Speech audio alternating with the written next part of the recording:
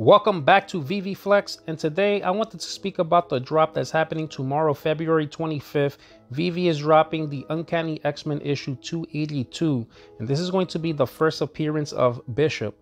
Now, I don't know if you guys are familiar with him. I remember him from the X-Men animated series in the 90s. Um, I also remember him from a recent X-Men movie, like, I don't know, six or seven years ago, probably longer than that. I think it was like X-Men Days of Futures Past, like time traveling and stuff like that. So he's basically an X-Men from the future.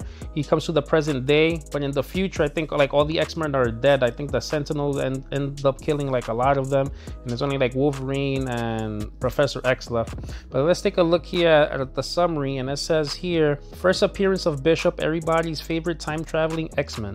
The X Men have returned to the mansion with the body of Jean Grey, but is Jean really dead? Professor X has the answer, but who are these strange mutant visitors from the future? So it says here VeVe's releasing two exclusive rare and ultra rare covers made by Carlos Gomez.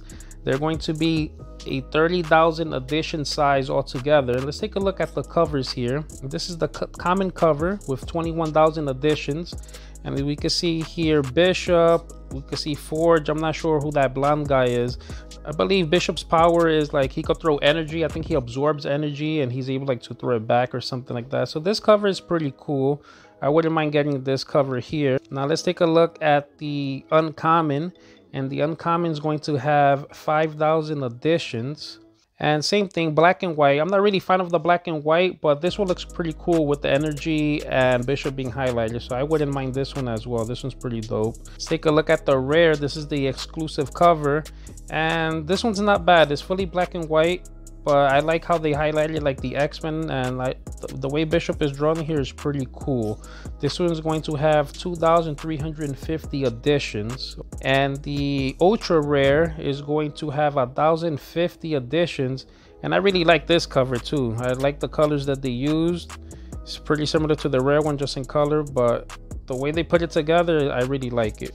And let's take a look at the secret rare with only 600 additions and it shows here Bishop choking somebody here and about to blast them.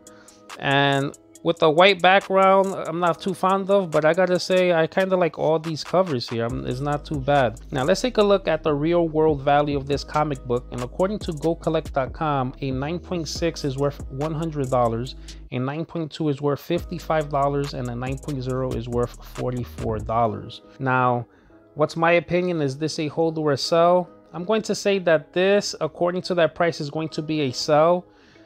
Uh, he's already been in the animated series. Some people know about him. He was in the movie. I believe the, the comic book kind of went up in price during that time, but it's still not worth that much. I personally will probably buy maybe the common. I like that cover, the uncommon, and possibly even the rare just because I'm an X-Men fan. I'm trying to collect all the X-Men comics and, you know, I wouldn't mind having it. But for profit-wise, it doesn't look like it'll be worth much but guys that's not financial advice.